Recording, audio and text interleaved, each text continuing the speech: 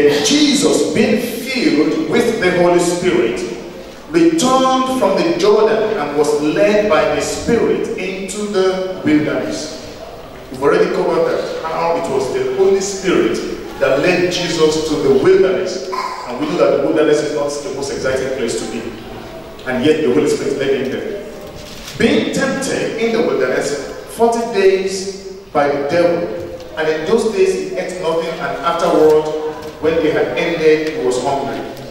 And then we have all the temptations that the devil took him through from verse 3 all the way to verse 7, and how in verse 8 Jesus answered and said to the devil, Get behind me, Satan, for it is written, You shall worship the Lord your God, and him only you shall serve.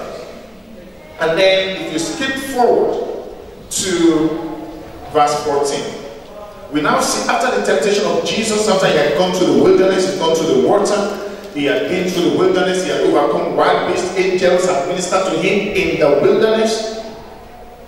He now was about to begin his ministry. So verse 14 says, Then Jesus returned in the power of the Spirit to Galilee. Now, you don't return unless you've first been to somewhere. So he's, he's now returning from the wilderness with the power of the Spirit. Some of you have been through wilderness experience. You've been through the water, but it did not overwhelm you, it did not drown you. You've been through the wilderness, it did not swallow you up. You fought with wild beasts, and some of them looked like human beings, and you overcame. Hallelujah. But now you are returning with power. The power of the Holy Spirit. The wilderness is a place of preparation. You've been prepared. You have overcome. Your hands have been taught for warfare. You learn more. Let me talk about myself. I think it's true of all Christians. You learn more when you're going through tight situations. You learn more of God. You learn more about God. I mean, when you see people pray when they have challenges, it's amazing. I mean, they pray like Hannah. They pray and their whole body is shaking. But when things are cool, sometimes people are too cool for God. You tell them to pray, they put hands in their pockets, they look at you. Because they feel everything is okay. But we need to stay in a position of being fired up both in plenty and in lack. Being fired up. So, so sometimes God, in His wisdom, when He sees that we are beginning to slack, might just drive us into the wilderness. It is true. might just allow the Holy Spirit, like Jesus, to drive us into the wilderness so that we can get fired up again and then come back like Jesus in the power of the Holy Spirit. In the power of the Holy Spirit.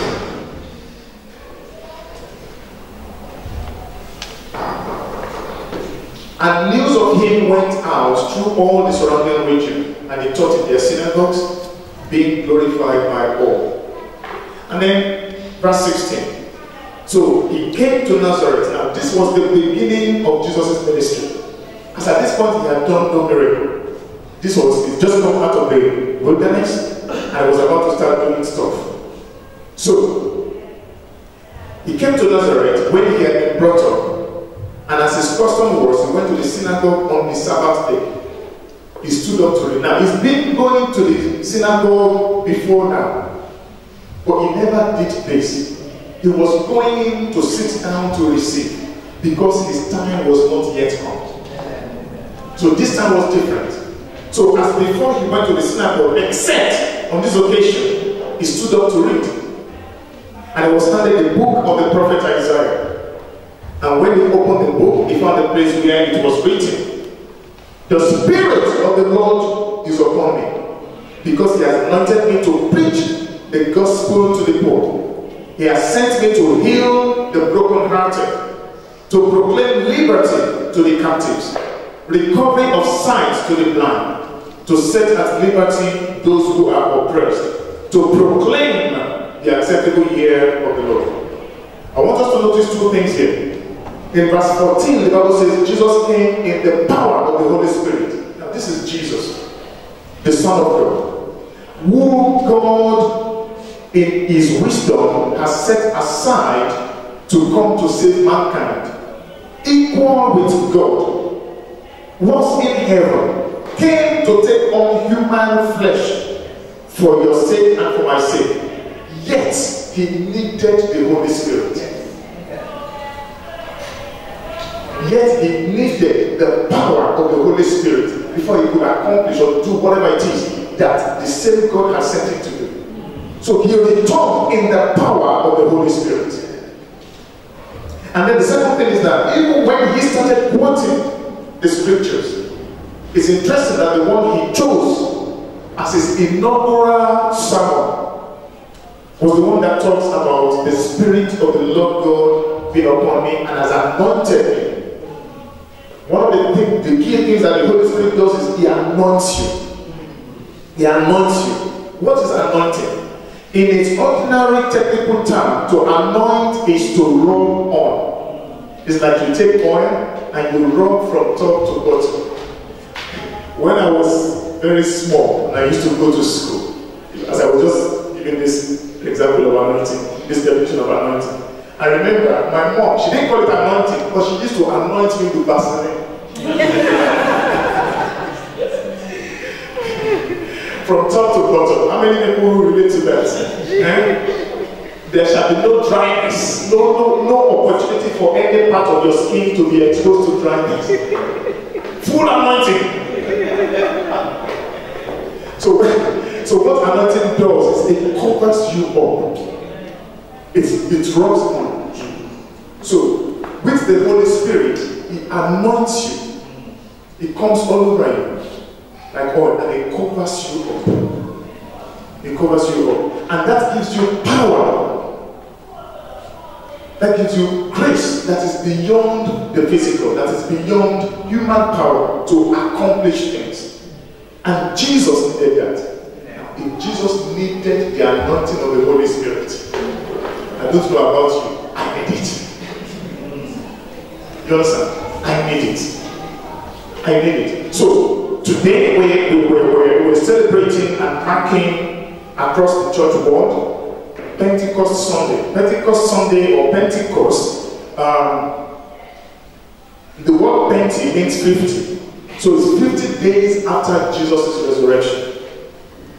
Alright, Pentecost. And in the Old Testament, the Feast of Pentecost was celebrated. It was also known as the Feast of Weeks. Because what the Lord said to them, the, what, what God said to them was that they should count seven weeks and seven weeks gives you 49 days. Seven times seven is 49. So the next day after that, the 50th day, Penti, that's when they celebrate the feast of Pentecost or the festival of Pentecost.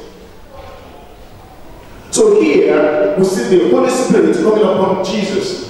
And then it declared what he was coming to do. Acts chapter 2, somebody, very quickly. Acts chapter 2.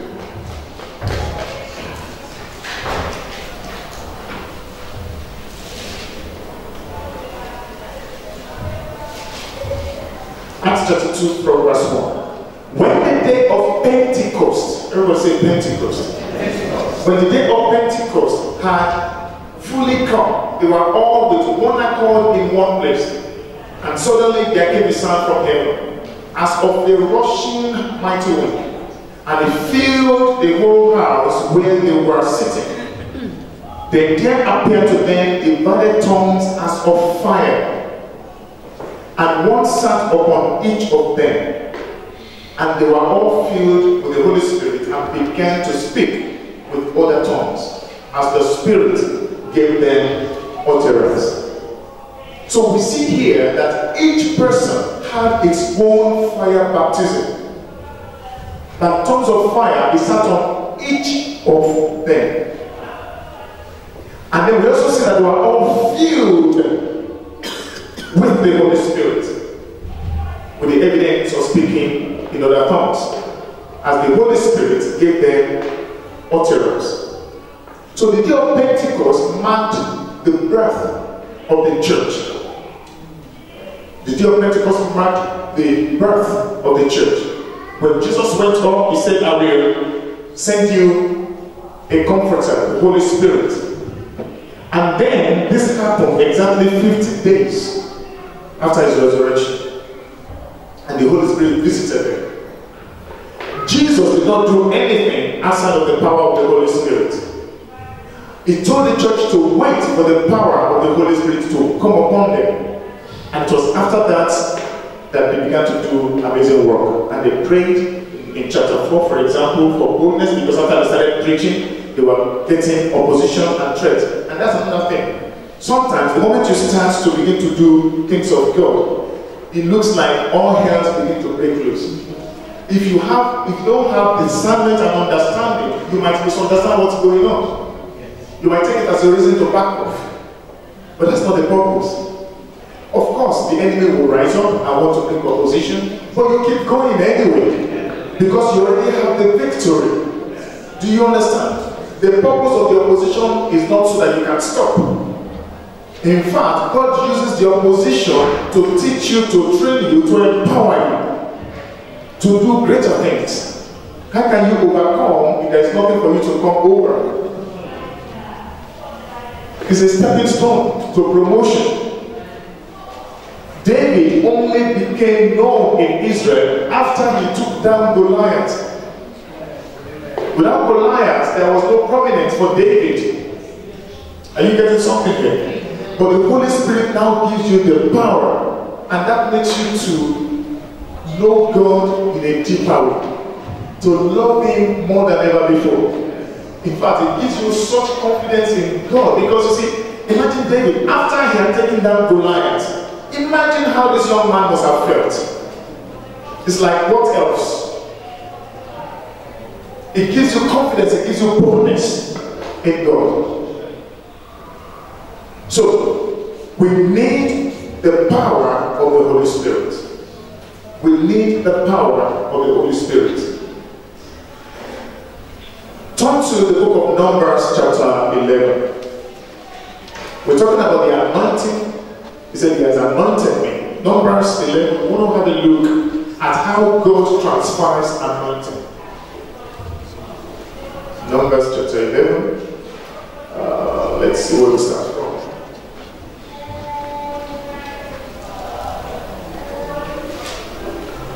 Okay. Numbers chapter 11, let's look at verse 16. Now, this was when Moses appointed 70 elders. So the Lord said to Moses, Gather to me 70 men of the elders of Israel, whom you know to be the elders of the people and officers over them. Bring them to the tabernacle of meeting, that they may stand there with you. I want you to imagine the setting. So God spoke to Moses, He said, Get me 70 people, bring them to the church, because then they didn't call it church, we call it church now, but the tabernacle. Said, Bring them there. I want to do something. I'm going to take of the anointing that is upon you, and then I'm going to multiply it over the 70. And I want you to follow the process very carefully. And it says, verse 17, Then I will come down and talk with you there. I will take of the Spirit. Everyone say. Spirit. When God says He will take of the Spirit, is the Holy Spirit divided?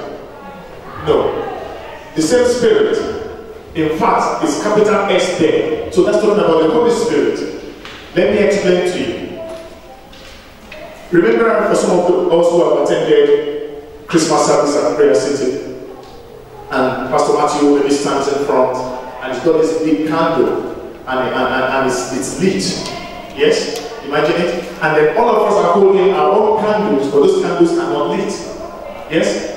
But the fire, everyone say fire. The fire in the candle, he now gets another person to just take some of that fire with their candle. So fire transfers from one candle to another, and then it is passed on, and everybody lights the candle down the aisles. What happens to the original fire in the candle that started the whole thing? Has it gone down in quantity? Has it gone down in power? No.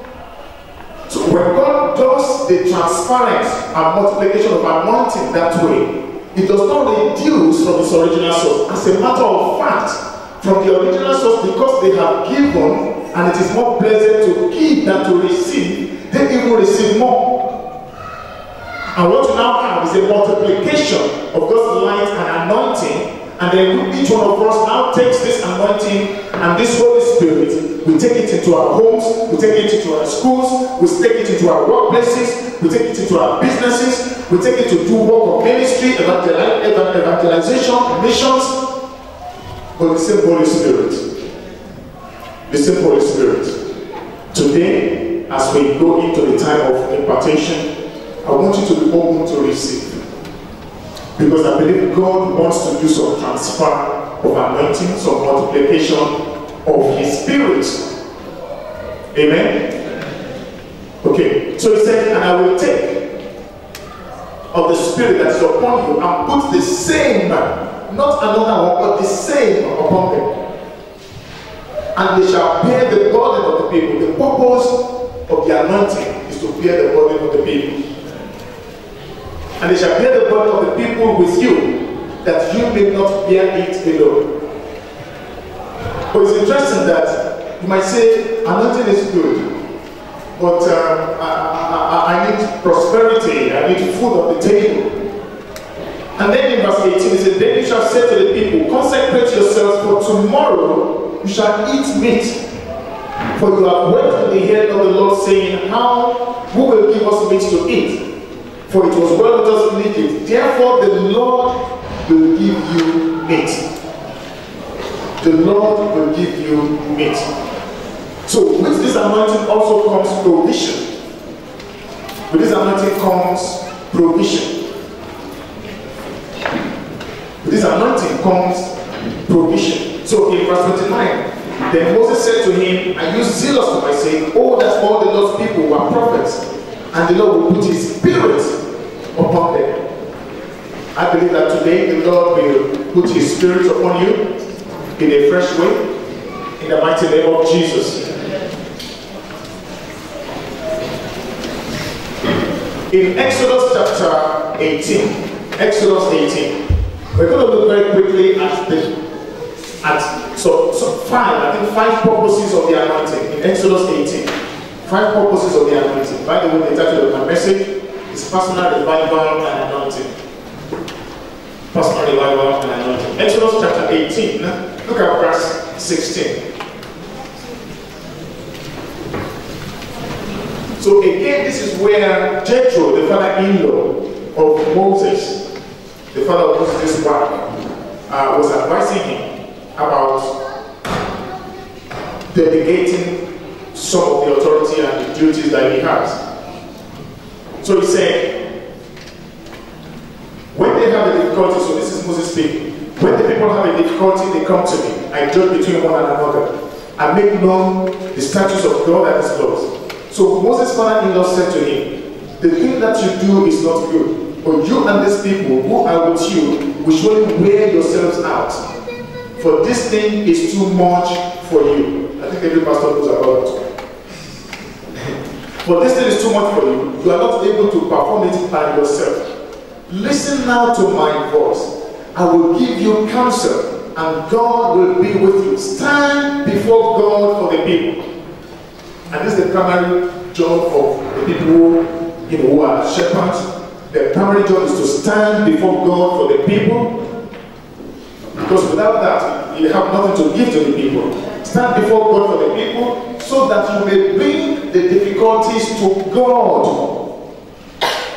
So you bring the difficulties, you take it to God, and then verse 20, you shall teach them the statutes and the laws and show them the way in which they must walk and the work they must do. Verse 21. Moreover, you shall select from all the people able men, such as fear God. So there are qualifications here able, ability, men who, who have the fear of God, men of truth, hating covetousness.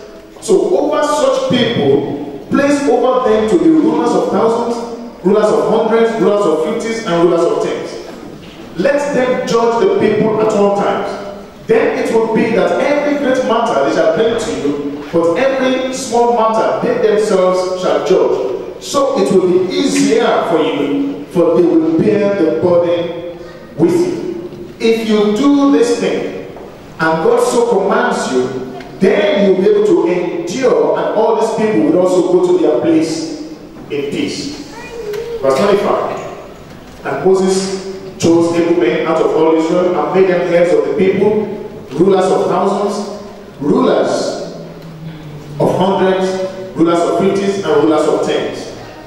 Again, during this impartation and during this anointing, I believe I want you to re- uh, release your faith for this. In whatever area God has committed certain ministries, certain projects, certain assignments onto your hand, that He will give you the grace, He will give you the portion of the Spirit to be rulers over those that and the, and the area and the people and the project and the, and and, and the assignment that He has given to you. The anointing and the unction for rulership, the grace for rulership, the grace for headship, the grace for rulership. May God release it to us today in the mighty name of Jesus. Notice, it's also God that determines the territories and the size. So for some, it's 50s, for tens, 50s, hundreds, thousands. If the grace He has given you is to rule over thousands, don't say, I will just manage with 10. Don't waste the grace.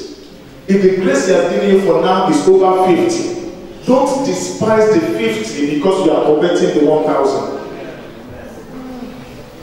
Recognize the grace that God has given to you and walk in the fullness of it. As you are faithful in that, He increases you. As you are faithful in that, He promotes you. As you are faithful in that, it makes you to be faithful over much. Because that's how the Bible says. Because you have been faithful over little, He will cause you to be faithful over much. I believe and I trust God that today He will release His anointing and His Spirit for rulership over us.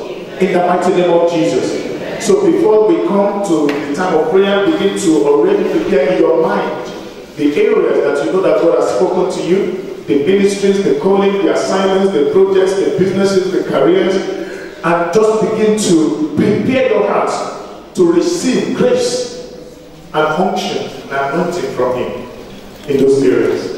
Amen? Okay. Also, turn with me very quickly. That was Exodus 18, wasn't it? Uh, let's look at Isaiah chapter 61, and we will close with this one. Isaiah 61.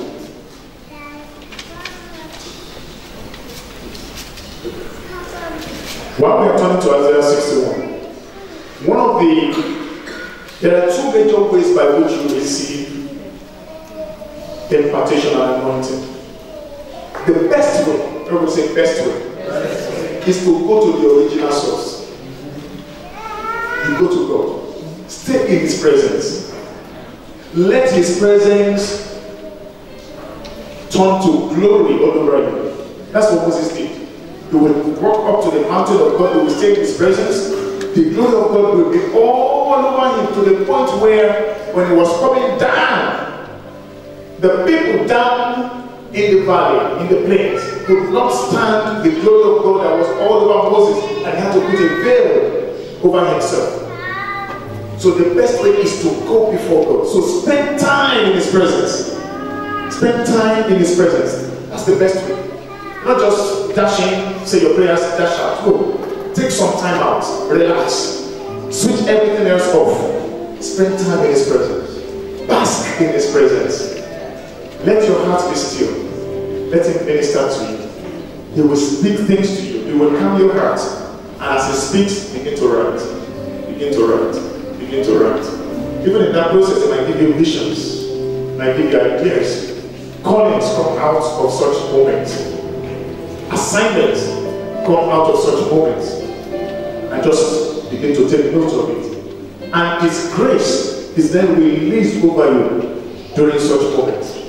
The other way by which He does it is what we are saying. By which, in a meeting like this, He would say, okay, as you gather together, whether it was on the day of Pentecost and the Holy Spirit hit them, or when He called Moses in the Old Testament and He said, I want to do something, I want to release impartation. Anytime, for example, Pastor Matthew says, This is an impartation service, especially evening service on a Sunday, I'm trying to be there. Because I recognize the principle that if God says He will do something, and then the man of God that he's using at that point in time also says, I'm ready for you to use me to release this.